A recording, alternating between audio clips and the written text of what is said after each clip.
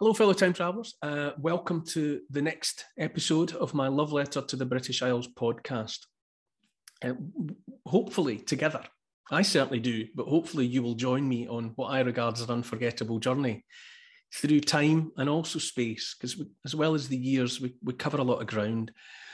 Uh, it, it, the story starts for me around a million years ago in the British Isles with a set of wet, soft footprints in mud on the Norfolk coast. And then gradually, through the course of the podcast, we get closer and closer to the present day. Uh, and it's the, the stories stop off at sometimes uh, expected destinations, you know, Stonehenge or Westminster Abbey or places that everyone thinks about and knows about. Other times, less familiar. Uh, but at all times, we're walking in the footsteps of the ancestors, trying to imagine what made them tick uh, and considering uh, the effect that the activities of the ancestors have had on the way we live today. I like to think it's got everything in it from from the earliest hunters through the first farmers in the Stone Age, the usual suspects, kings and queens, uh, the brutality and the battles that they provoked, sometimes moments of, of individual bravery, many occasions of genius, inspiration, but all the time, blood, sweat, and tears.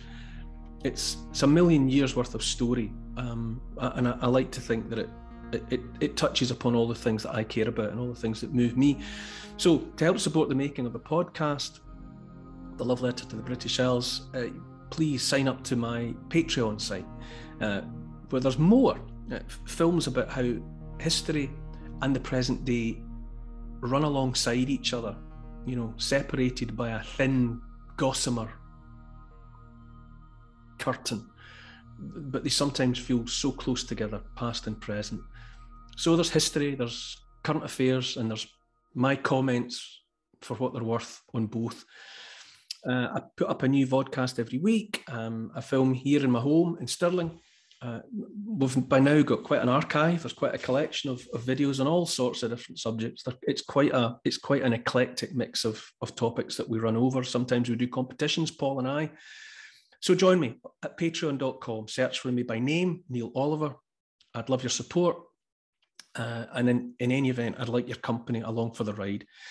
But in the meantime, it's time to step off on the next journey, the next part of the journey in the love letter to the British Isles.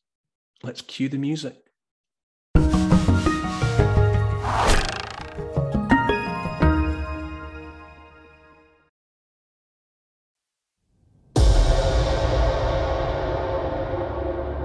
Our modern world, to some extent, it's a veneer. It's scraped thin like butter over toast. You know, it covers the surface, but it doesn't go very deep. And if you if you go that bit deeper, then the distant past of our species is still here in these British Isles. You can time travel, not just in terms of centuries, but in terms of millennia, and be reminded that it was all very different once, and after some centuries and some millennia, it will all be very different again. The next podcast in this series is a walk down one of the oldest streets on the planet. Ancient meals eaten 40,000 years ago, the story of weapons, survival, and creation. A time of woolly rhinos, spotted hyenas, lions, and hippopotami. Artworks of immense beauty, mysterious symbols carved into rock, artists leaving their marks upon the face of time with the oldest art ever discovered in the British Isles. I'm stepping out across Britain to discover 100 remarkable places that have shaped you, me, and the whole world. I'm Neil Oliver, and this is my love letter to the British Isles.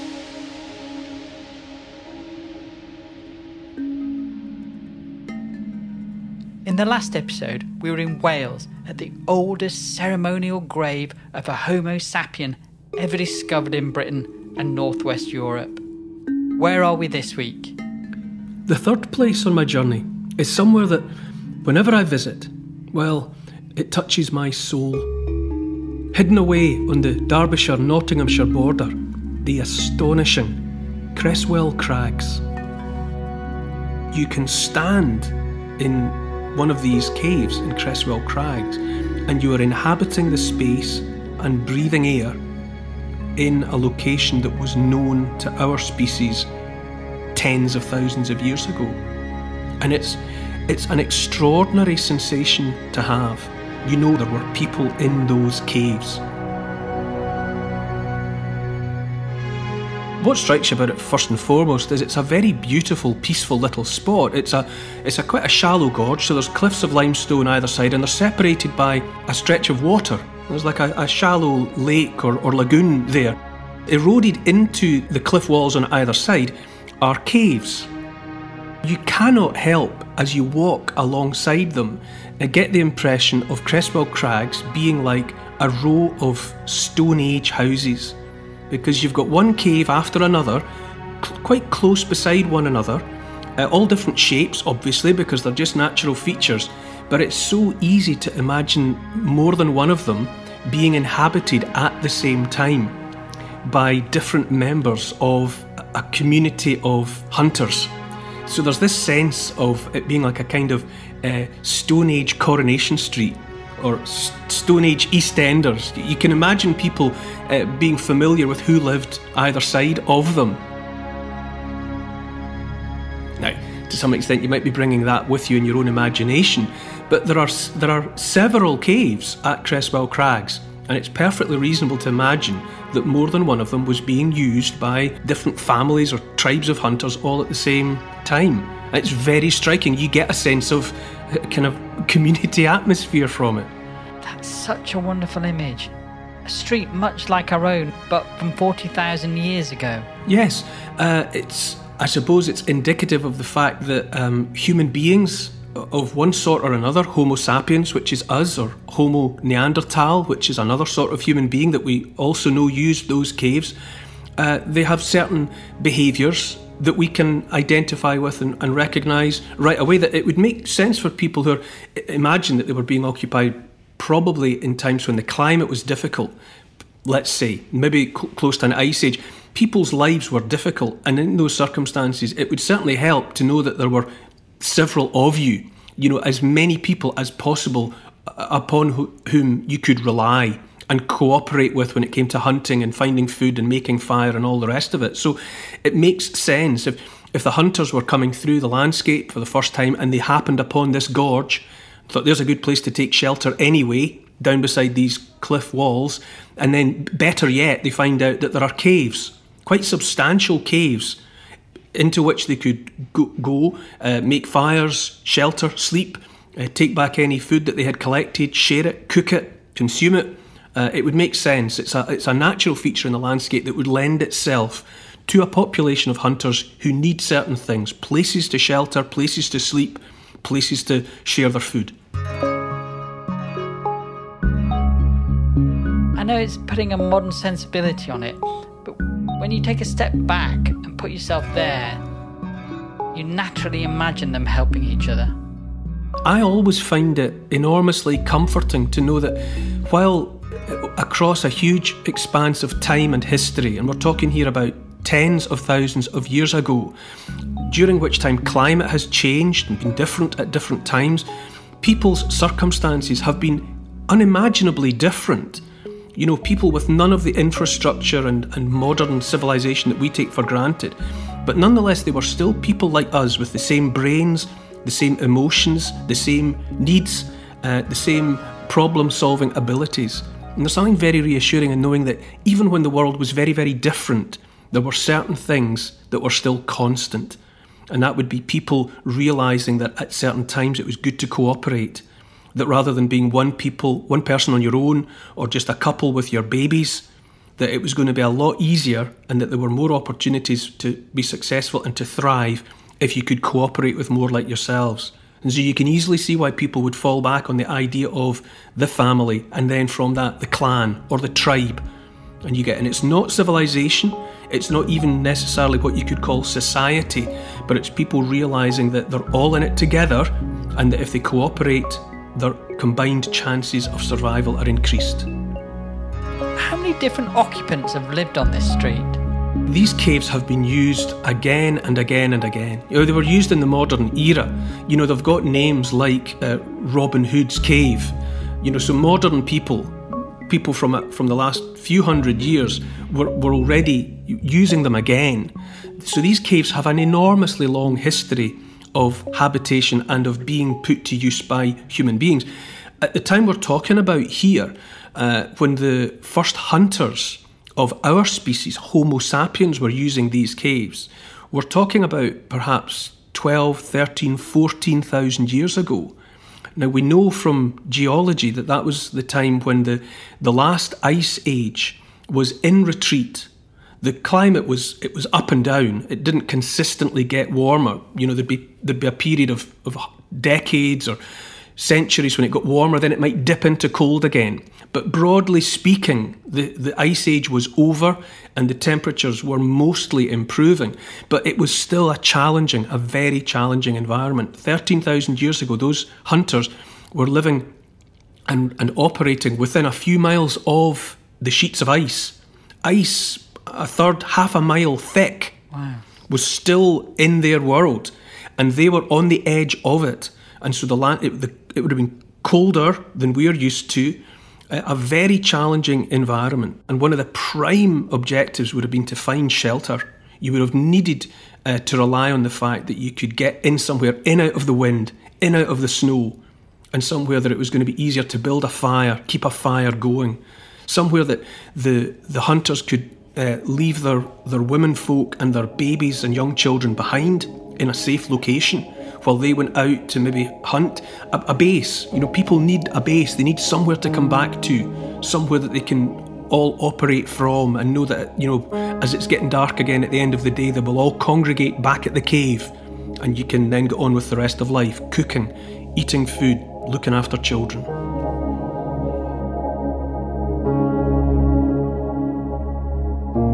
How do you survive here when there are no shops, there are no modern clothes, and basically you're a naked ape in a very cold climate. What can you make of this world around you to protect you and enable you to function? And then you think, these were clever people.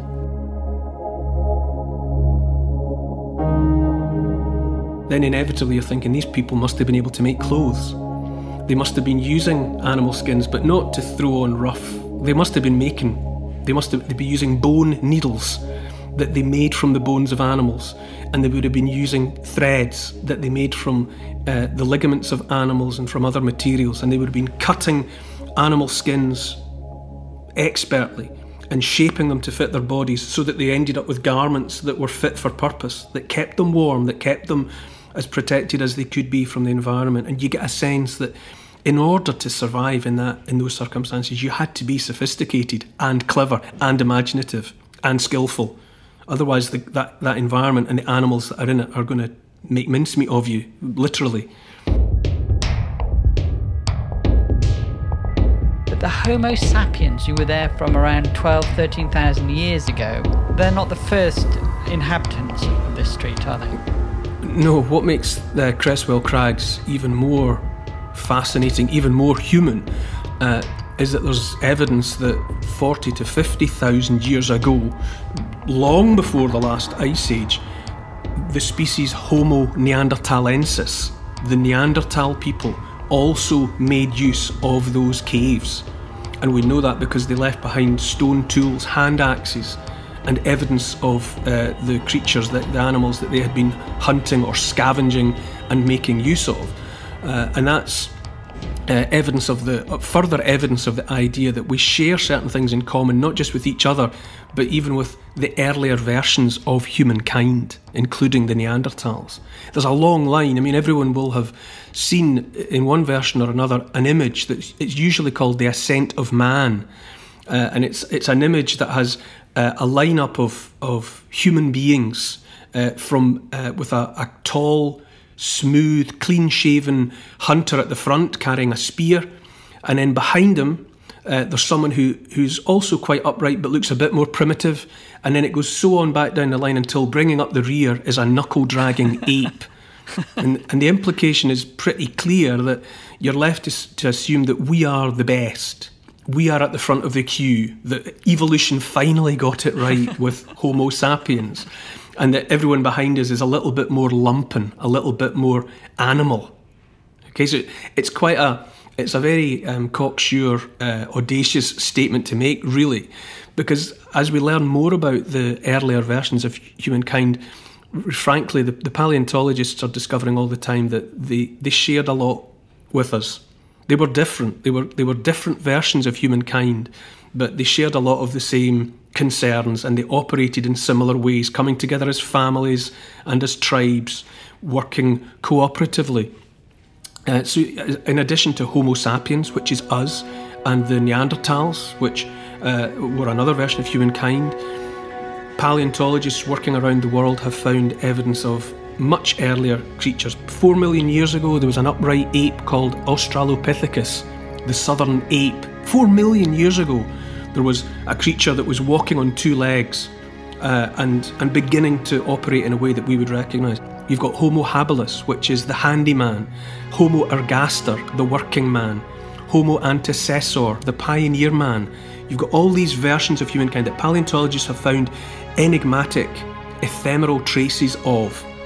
And what we're also having to realise, which is even more incredible, uh, is the is the certainty that we shared planet Earth for a certain period of time with other versions of humankind.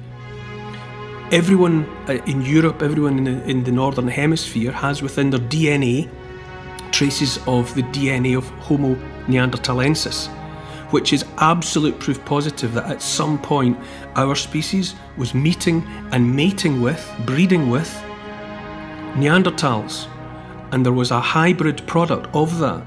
There, were children sometimes born to those couplings which also survived. So at Creswell Crags, we see that 40, 50,000 years ago there were Neanderthals in those caves. And then much more recently, after the last ice age, our own species was there. And it, but it's not to say that there isn't the possibility uh, that there was a coming together of Neanderthals and Homo sapiens in the strait. in Europe. Not in that street. There's no evidence. There's no evidence of that. But it's not. It's not impossible because we know that there were Neanderthals alive in Europe as recently as 25 to 30,000 years ago. Now, the remains of the red Lady of Paviland that we've talked about elsewhere in this podcast he was alive in around 34, 33,000 years ago. So there's every possibility. We know that Homo sapiens and Neanderthals were sharing Europe and parts of Asia at certain times. So we've got much more in common with the rest of humanity than perhaps we, were allowed, we would have allowed for even a hundred years ago. How long has this evolutionary process been going on? During the last several million years, there have been multiple experiments, you might say, by Mother Nature with what it is to be an ape that walks upright on two legs and uses arms and hands for making tools and that came together and worked cooperatively in family units, in tribes, in clans. You're talking millions of years. Our species, Homo sapiens, is only around 200,000 years old. So we come in very recently in the story, and Mother Nature has been trying one experiment after another.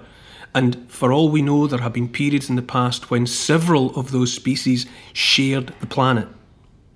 That were all alive and walking about on two legs at the same time maybe sometimes getting on all right, rubbing along together as, as neighbours and, and fellow creatures. Maybe other times there was trouble. What we do know, without a shadow of a doubt, is that we are the only ones left. You know, by, you know, 20,000 years ago, let's say, whatever had been the circumstances of the other kinds of humankind, they were all extinct. And for the last 20,000 years, we have been alone on planet Earth. We are the last of the humans.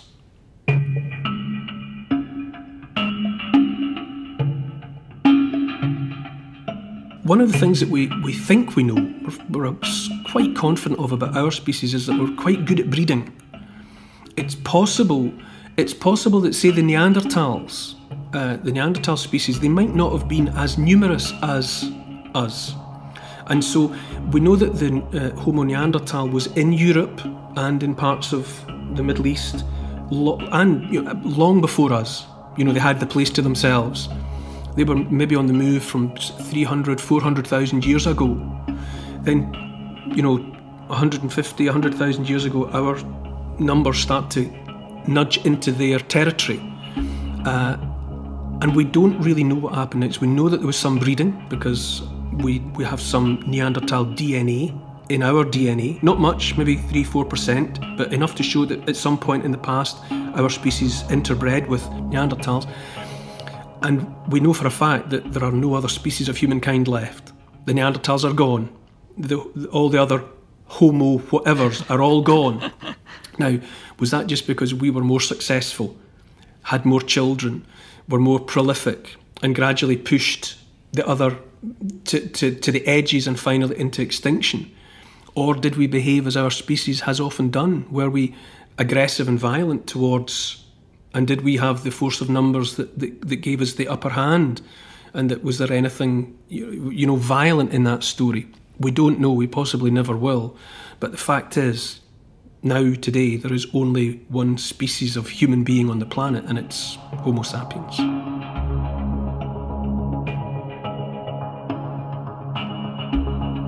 So, because of the bones that have been found here, we know that 40,000 years ago, next door to what is now a modern village with its corner shops and pubs, there were woolly rhinoceroses, spotted hyenas, lions, and hippopotamuses.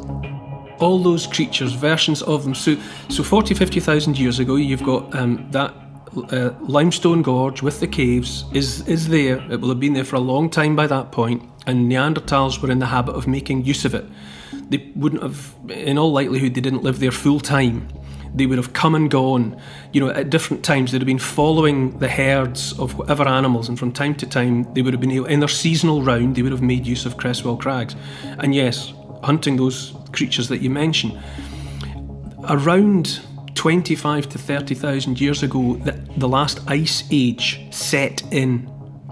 The climate dropped, uh, snow fell, didn't melt, was gradually impacted into ice, and over a period of hundreds and then thousands of years, great walls of ice developed in the high country and then pushed down into the, into the lower land, sculpting the landscape as they went. It lasted for thousands upon thousands of years and it pushed out all of life from our part of the world, from these islands that we know as the British Isles.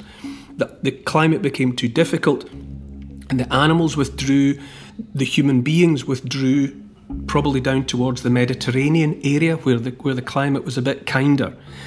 Then, by about maybe 15,000 years ago, the climate began to improve again. The ice began to melt and recede, and the climate improved to the point where the hunters, who by this time were us, modern Homo sapiens, began to walk back into the area. Very important to remember that at that time, we weren't a set of islands, we were still a peninsula of northwest Europe. And the animals moved back into the north, and the hunters came in behind them. So their movement was dictated by the movement of the animals. That's by about 15,000 years ago. And so, uh, Homo sapiens, hunters of our species, in their own turn, found the caves at Creswell Crags and made use of them in the same way that Neanderthals had done tens of thousands of years before. They were just the latest tenants of that accommodation and would have used it in the same way. They probably didn't, they wouldn't have stayed there 12 months of the year or for years at a time. It, much more likely that at different times of the year, the, the, the movement of the animals would have put them in that vicinity, they would have used the caves, and then at other times they were elsewhere. And how do we know that they were there? Well, there's uh, finds of artifacts left behind. We don't have we don't have any um, human burials, for example. We don't have, say, a Red Lady of, of Paviland in Creswell Crags. But what we do have are things made by human beings, things that human beings have left behind. In 1876, someone went into uh, one of the caves, which is known to us as Robin Hood's Cave. It's got a connection in that part of the world, the Nottinghamshire Derbyshire border. It's got, you know, it's people have connected it to the story of Robin Hood.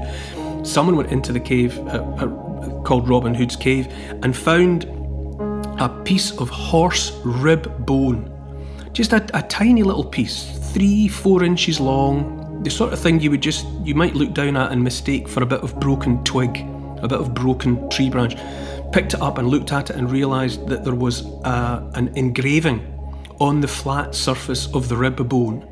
And it's an engraving of a horse, or really, it's a, a horse's head with the uh, eyes flaring, uh, the mouth a little bit open as though it's galloping, uh, the mane. The, the hairs of its mane are kind of swept back as though it's running at full gallop.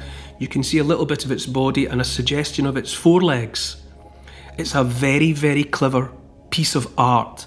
It made by somebody who really knew how to convey the sense uh, of a horse. Someone who had hunted the horse, someone who knew how a horse moved, understood it intimately, and had the artistic ability with just a, really just a few lines etched in with a with a, a sharp point, suggested most eloquently and most effectively what it is to be a horse.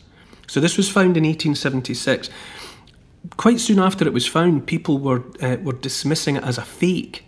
People thought, no, it's just a, it's just something that's been that's been concocted by somebody in the modern era. It's not real. But more recently, and to the present day, we accept it as a piece of art that was created perhaps 13,000 years ago. Wow. By, by one of those modern human beings, Homo sapiens, that was making use of the caves at Creswell Crags. Wow. Now, we already knew by the time it was this, people were already aware uh, that uh, hunters elsewhere in Europe had created works of art. Yeah. There are cave systems in France and in Spain that are famous for those. You'll have seen Yeah. the, the images from Lascaux in France and from Altamira in Spain. Whole torrents of animals uh, uh, bison, lions, bears, deer, all sorts of creatures evoked in the most extraordinary fashion. Yeah. They- They are Sistine chapels of art. Extraordinary. And it, it was thought for a long time that this far north in the British Isles that life was just too hard. 15,000 years ago, that people would have been so preoccupied with just staying alive, just hunting for some food, gathering some, some, uh, some wild foods, uh, keeping people warm, keeping people on the move, that that would have been enough, and that there would have been no time for something like creating works of art. So suddenly by 1876, you've got this piece of uh, horse rib, and the assumption was that yes, it had been created long ago by someone with an artistic talent, but it had probably been carried. Someone had had it in their pocket. They'd come from much further south, and that during one of their stays in Creswell Crags, it had kind of dropped out and landed on the floor and stayed there. People just didn't think that there would have been that kind of behaviour going on in our part of the world at that time. But much more recently, in the last couple of decades, specialists in cave art began paying proper attention to the cave walls at Creswell Crags.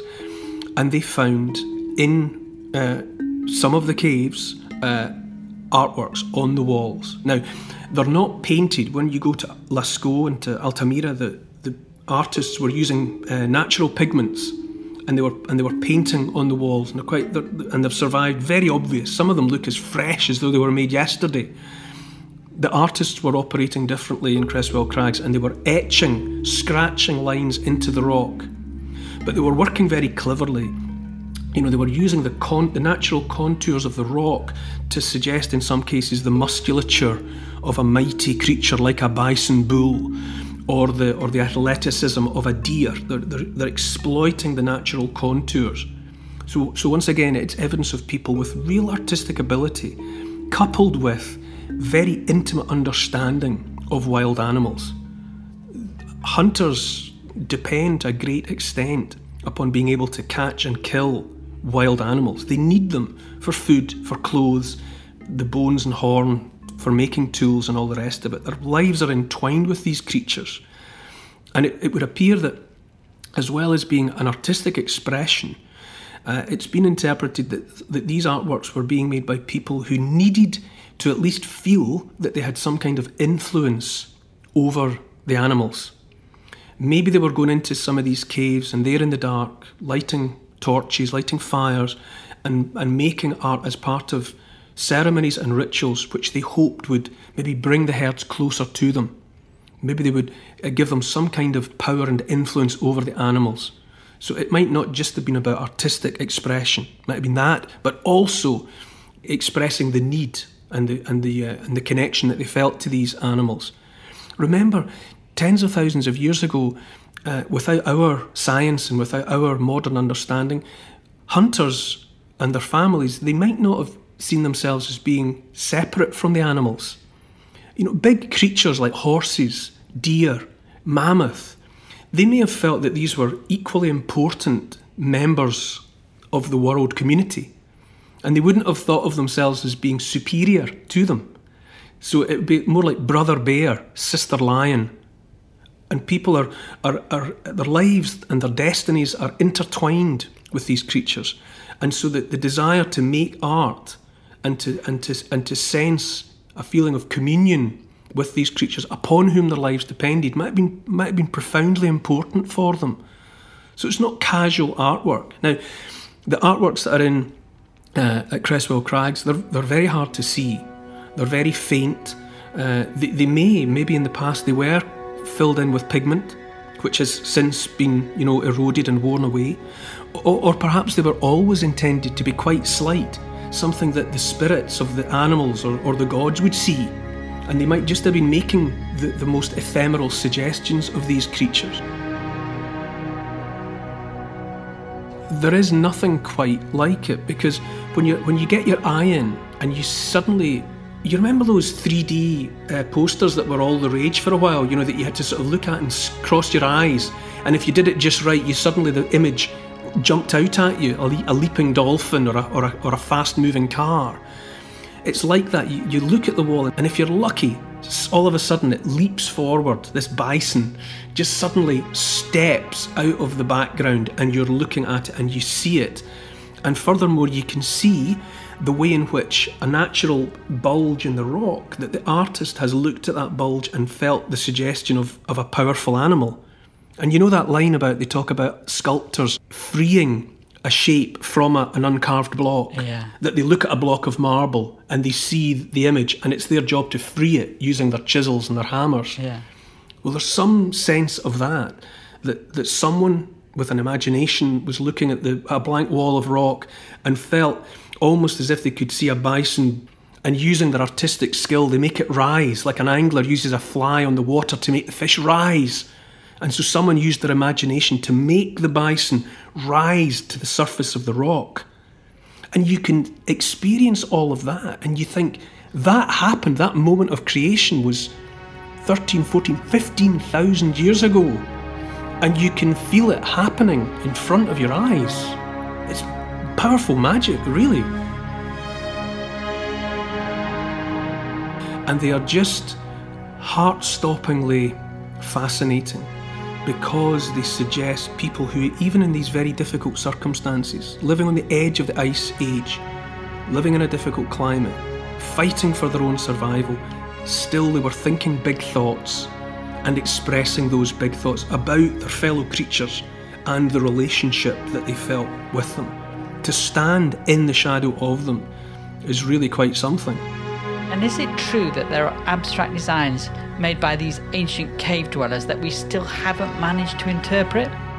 Yes, there are, as well as being uh, depictions of animals, uh, there are other uh, marks in the rock which are man made or human made, uh, which don't obviously declare what they are. And mm, arguably, most fascinating of all, some of them have been made in the, in the deepest, darkest recesses of the cave, places into which you would have had to crawl on your tummy, maybe holding a little uh, torch of, of animal fat, and get yourself into a claustrophobic location and there make these, you know, little artworks. And then once you withdrew, who's going to see them? It's not going to be other hunters, is it? It's not going to be the members of your tribe. And so we're left to imagine that maybe some of the, the artworks were being made for the consideration of whatever lives in the dark invisibly spirits, ghosts, uh, the, the ancestors, or, or even gods. Who knows for whose consumption some of these artworks were actually being created. And yet again, it's yet more evidence of even in circumstances so hard and so different from our own, you're reminded that they're just people like us. Amongst other things, amongst getting on with the day to day, their minds drift to thinking, what's it all about? is this all there is? You know, what's the meaning of it all? Yeah. For as long as there's been human beings, there have been some among them who have reached out into the dark and thought and asked, What is this? What is it to be alive? What does it mean? Why are we here? And those questions seem to find their expression in these artworks on the walls of a place like Creswell Crags and the Derbyshire Nottinghamshire border. They're just it's what is also also heartbreaking in a sense. You know, if you take that little horse rib with the depiction of a horse upon it, it, it it's someone of great ability. It's an artist. Imagine if all we had of Michelangelo was a little sketch on a piece of crumpled paper that someone had found in a bin. Imagine if that was all we had, that everything else had been destroyed. So, in the case of the artist who made that little horse rib, you know, where is his Sistine Chapel? Where is his David or her David? What else did they make that we have not had the opportunity to share? So that artist from 12,000 years ago has managed to leave their mark on the world. That's so extraordinarily touching. Yes, and it, I, that's another. You bring up a, a, a, perfect point that we all of us, uh, at, at moments in our lives, either deliberately leave things behind. You know, people sometimes make up a time capsule. You know, they, they've got a plastic box and they put in some photographs and mementos and they bury it in the garden, hoping that someone will find it in the future or people keep a diary in the sure and certain hope that someone in the future will read those thoughts. You know, and sometimes we just accidentally, you might have a, a, a penknife or a piece of jewellery and it falls from your neck or falls out of your pocket and it, it, you know, it goes in amongst the bushes and gets and gets quietly buried, only only to be discovered at some point in an uncertain future. And that would be the proof. That might be the only physical proof in ten thousand years' time that you ever walked upon the earth but a desire to leave something behind is profoundly human. You know, to reach out into the future, to reach out towards the future so that you can say, I was here. I was here for 50 years or 70 years, but I was here. And please know that. Lots of people feel that and try to leave something behind. Well, there at Creswell Crags, maybe you've got somebody thinking like that, thinking, well, after I am gone, this engraving I've made on the wall or this piece of art I've left behind will at least be proof of my life. It's so humanizing. You can so easily, by these tiny traces, have a sense of communion with people who lived unbelievably different lives in an unbelievably different Britain 15,000 years ago. But you can reach out and sense, yes, I, I understand what you're trying to do here because you are a human being and so am I.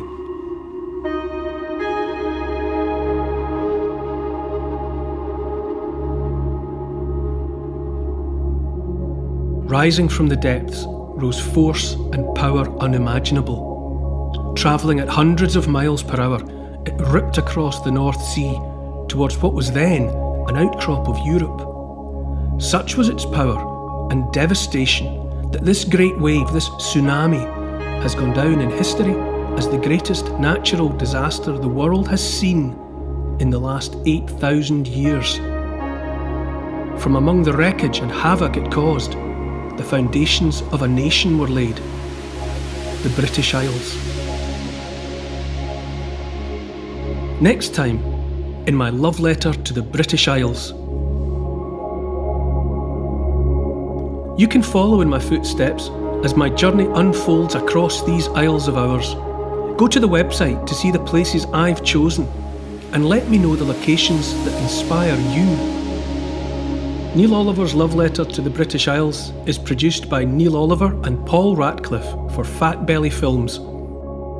Music by Malcolm Goldie. Additional research by Oscar, Evie, Lucian, Teddy, and Archie. Finance Catherine and Trudy. Post production Althorpe Studios. Photography by Neil R. Graphics, Paul Plowman. And special thanks to the people across history who have made and continue to make these Isles such an incredible place.